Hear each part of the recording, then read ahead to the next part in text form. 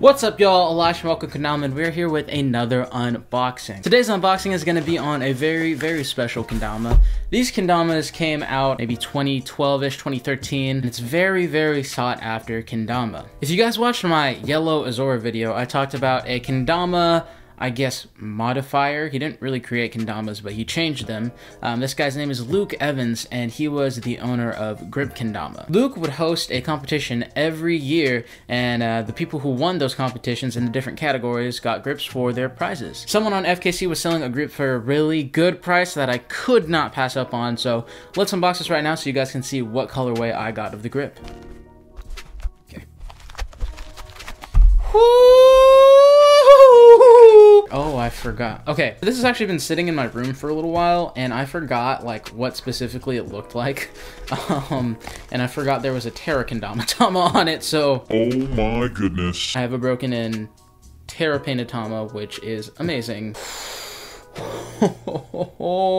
that thing is sick nasty. Dude, look at how cool that is. I remember back in 2015, there was a guy at Sakura Classic selling his grip for $60.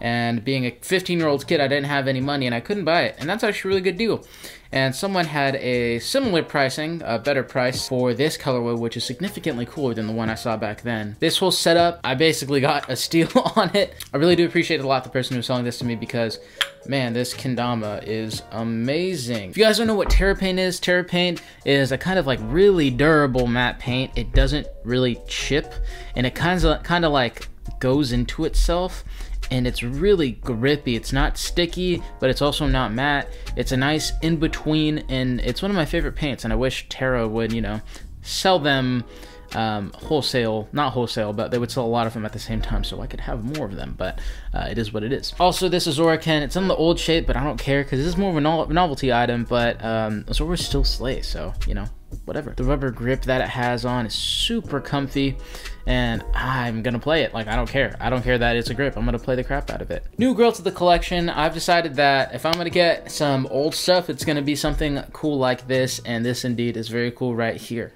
you guys have any questions for me about this kendama, about, uh, you know, any old kendama stuff, I've been playing since 2013, so I'd be happy to answer anyone's questions, or if you want to DM me, uh, doesn't matter, do whatever you want. If you guys enjoyed this video, please hit the subscribe button, the like button, hit post notifications, and share this video because it goes a long way for the channel. Again, this is the last rep for Melko Kendama, signing off.